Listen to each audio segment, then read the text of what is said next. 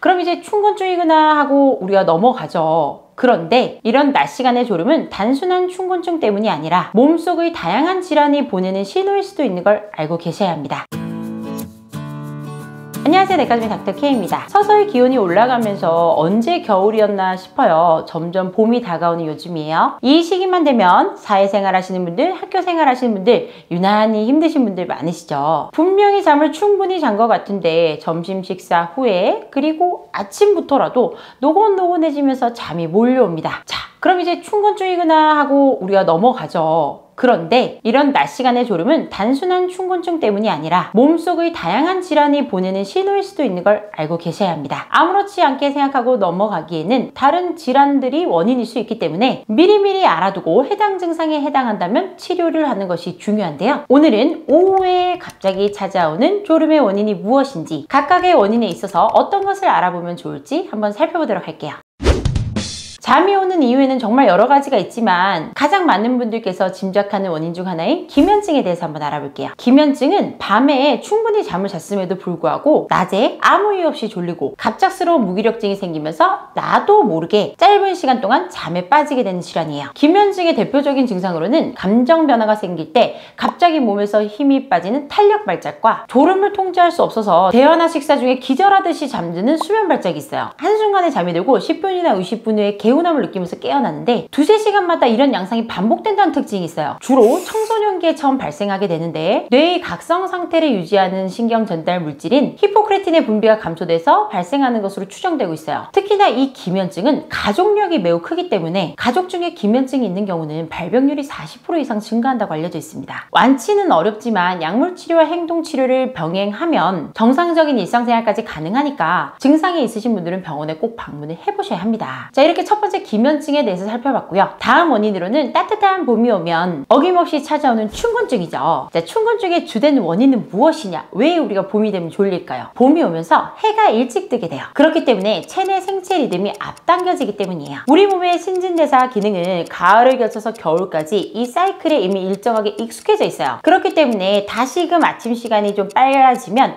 봄의 이런 환경에 생체 리듬이 다시 적응하느라고 시간이 걸리게 되고 이로 인해서 피로가 찾아오게 됩니다. 만약에 겨울 동안 늦잠을 자는 습관이 있으셨다면 충곤증이 더 힘들게 느껴지실 거예요. 더군다나 낮이 좀 더 길어지죠. 밝은 시간이 좀 더 길어지잖아요. 그러면서 활동 시간도 늘어나게 되고 수면 시간도 부족하게 되죠.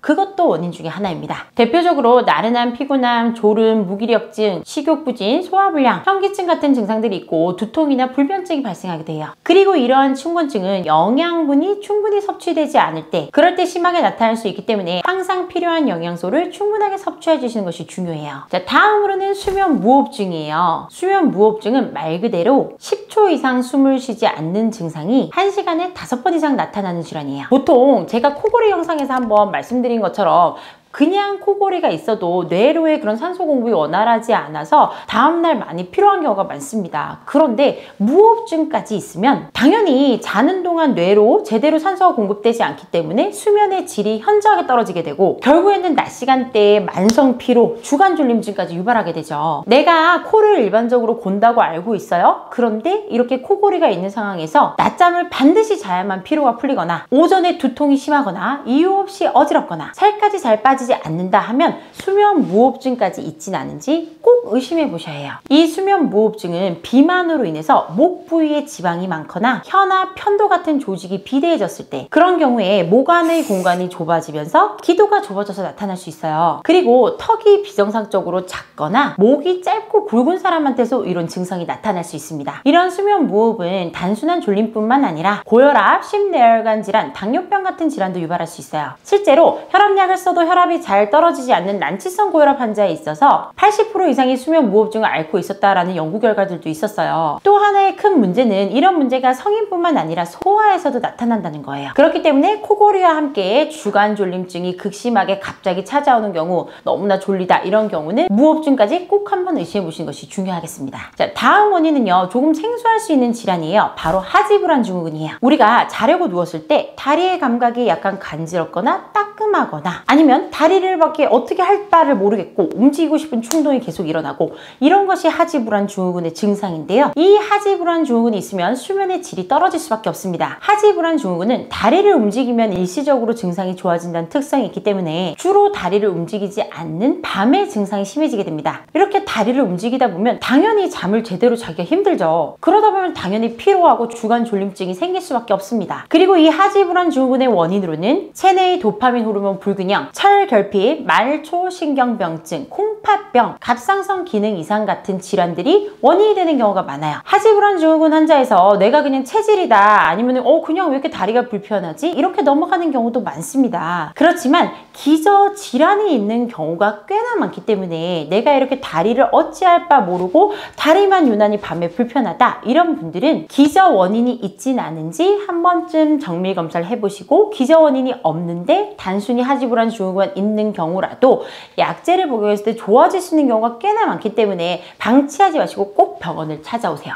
아시겠죠? 마지막 원인은 우울증입니다. 우울증이 생기면 수면 시간에 변화가 나타나요. 불면증이 나타나기도 하고요. 더 많이 잠을 자는 과다 수면이 나타나기도 합니다. 불면증의 경우에는 수면 시간이 절대적으로 부족하기 때문에 당연히 주간 졸림증과 피로가 일어날 수가 있죠. 그런데 반면에 반대로 과다 수면을 겪고 있는 경우라도 밤에 충분히 잠을 잤음에도 낮에까지 졸릴 수가 있어요. 여기서 말하는 과다 수면증은 9 시간 이상 잠을 잤음에도 불구하고 낮에 잠이 쏟아지는 그런 상태를 얘기하는데요. 그렇기 때문에 주간 졸림증과 연관이 될 수 있는 거죠. 이렇게 우울증과 관련된 수면 부족이나 과다 수면증이라면 모두 밤 12시 이전의 일정한 시간에 수면을 취하도록 노력을 해주셔야 하고요. 낮에는 졸음이 오면 카페인이나 이런 거 드시면 안 되고 맨손 체조나 이런 운동을 통해서 잠을 조금 깨워주셔야 합니다. 그리고 비슷한 시간대에 잠을 청해야 되고 규칙적인 운동이나 스트레스 해소 이렇게 해서 우울감을 좀 떨쳐주셔야 하고요. 이렇게 했을 때 이제 가벼운 우울증은 해결이 될 수 있어요. 그런데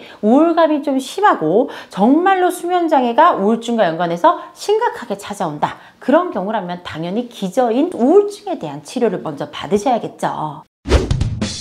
오늘은 이렇게 우리가 봄을 찾아와서 주간에 졸음이 쏟아지는 이런 충곤증 그리고 충곤증이 아니라 다양한 질환들이 있을 수 있는 이렇게 낮잠을 일으키는 여러 가지 원인들에 대해서 살펴봤어요. 날씨가 따뜻해져서 아우 졸리겠지 충곤증이 오겠지 이렇게 가볍게 넘어가지 마시고요. 나의 몸에 다른 이상이 있진 않은지 꼭 한번 내 몸을 돌아보시고 내 몸을 소중히 한번 챙겨보는 시간이 되었으면 좋겠어요. 그래야 다른 질환이 심각해지거나 다른 질환으로 연결될 수 있는 그런 가능성을 예방할 수 있겠죠. 자 그렇기 때문에 여러분 이유 없이 낮에 너무 졸리고 필요하다 이런 분들은 오늘 영상 참고하셔서 꼭 한 번씩 자가 진단 해봐 주시고요. 오늘도 내 몸의 건강을 한 번 더 챙길 수 있는 하루가 됐으면 좋겠습니다. 오늘 영상이 마음에 드시면 구독과 좋아요 알림 설정 부탁드릴게요. 감사합니다. 내과점의 닥터 K였습니다.